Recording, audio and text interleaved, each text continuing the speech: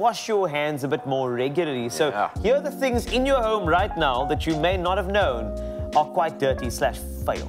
now, starting off with this one, I think we all have it. Yep. A cell phone. Now, listen up. It has been said that uh, it could be up to 10 times dirtier than a toilet seat. Oh, man. In fact, it could even have E. coli on it. Now, that's a bacteria that can give you diarrhea and stomach cramps. And it can live for hours on a warm surface like your phone. So the solution, wash your hands with soap after you go, and then leave your phone out the bathroom as well. That'll definitely help. Moving along, the remote control, all right? And it's everywhere. Remember, the remote drops on the floor. Then it's on the counter. Then it's in somebody else's hands, all right?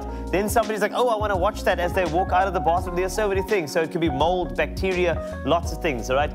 Dish sponges. Yes. Surprise. Replace it when it starts to smell Yes. or loses its shape. There's no real way to actually clean this thing, so just get rid of it, bring in the new one. Simple as that.